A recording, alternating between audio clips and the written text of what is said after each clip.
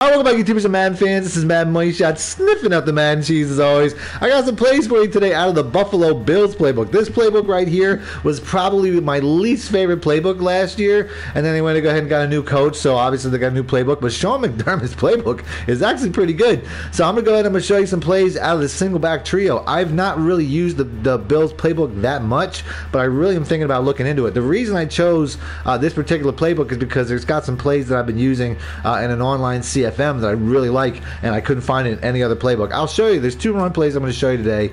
Uh, but if you guys want to see more plays out of the Bills, there's really some good looking formations. Plays I've made plays out of the wing slot. I've made plays out of the bunch ace, the tight slots. Everybody knows this formation. This is the most cheesy used formation in the world. There's my favorite play, the halfback wheel.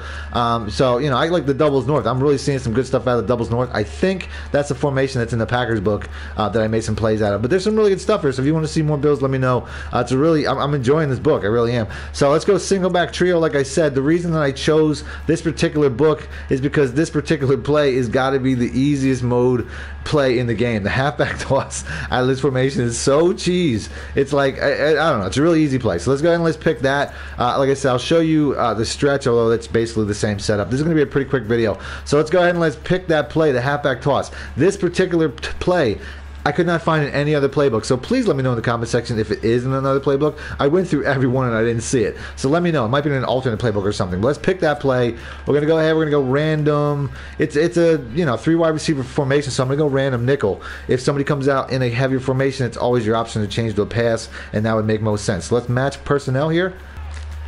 Okay, so here's the look. Right off the bat, I can tell I have a zone coverage. Now, the computer's telling me I have a blocking advantage to the left, to the right side, but they're full of shit. So what I'm going to do is I'm going to flip this play back against the grain, go against my, uh, go against what the uh, what the computer's telling me to do, what that what that box system's telling me to do, because I know I realistically have a blocking advantage on the other side. So since it's a zone coverage, I'm going to run it this way. We'll go ahead and we'll do that. Hopefully the blocks will set up like I want. Get a nice five yard run. I was expecting a little bit more. We'll do that again.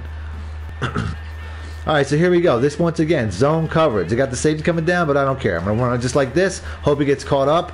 We're gonna take it wide. Look at that nasty ass block we get out there, and we make a dude miss, and we get about 15 easy yards without even trying. So once again, zone coverage, flipping the play. Now we're gonna go ahead. We're just gonna we just need somebody to make a block, and I, I can make a dude miss because he's LeSean McCoy, and we're going to the house. Let's go touchdown, baby. And typically I'll get the edge without trying. Here we go. Now we have three cornerbacks in front of three receivers. So I have a man coverage. I can run it just like this. No adjustment. The, the user probably will think that I'm going to go to the other side because I've been doing that the whole time. And now you're going to see I have a nice blocking advantage because there's no cornerback over there to cut it off. Not the best run, but okay. Another option you can do is if, if it's a man or a zone is you can motion block uh, one of these receivers. Typically, the, the corner on a man will follow, but you can see he's kind of behind. So he's kind of out of the way enough that um, you can make that happen. And you can see here we're going to get another nice run as, as McCoy just has unbelievable shake and bake in his uh, 98 agility. So that's really your choice. Here's another man. I wouldn't say taking Thompson. I would leave Thompson because he's kind of like uh, the, the, the the seal block from behind. So if you're gonna do a motion block, um, I would just say uh, do do a different receiver. There we, we got some serious. Like I said, if this guy was faster, he'd have been way way gone. But you know what? He made it anyway. So let's go and let's move on to the next play. The next play is not different at all. It's just a little bit safer. It's the same play. It's a stretch. So we're gonna go. We're gonna pick that. We're gonna keep going random nickel. Um, this play right here, like I said, the exact same read system, exact same setup. It's just a little bit safer against zones when you're going against the grain. Like this here, I don't really. You see how the guy, the guys kind of get out wide. Um, I'm not as big a fan of it, but it's not a bad. There's no gap for anybody to run in on which uh, the other play typically has. Like this here, you know, I'm, I'm doing the wrong because that's a man again. But you can see how the blocking holds up. It's just a little bit of a safer play, but it's less explosive.